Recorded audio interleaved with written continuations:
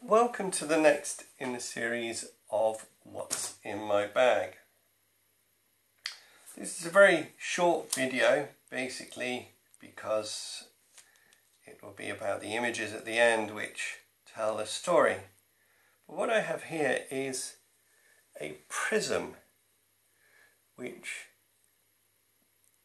allows light through in from different directions. So what you get is you get quite a weird and funky result.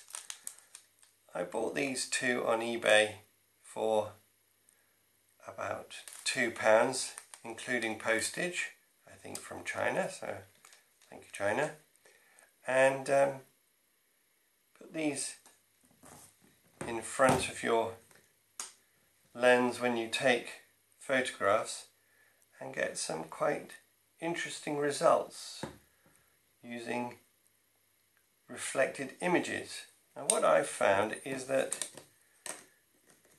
my lens hood works really well in positioning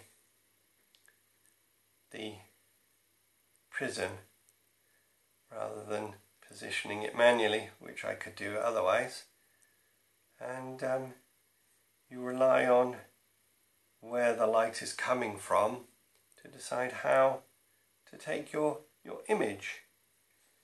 I can position these in different directions, different angles and get different results on my images. So I'll leave it there and uh, have a look at some of the pictures that result from from this uh, experiment.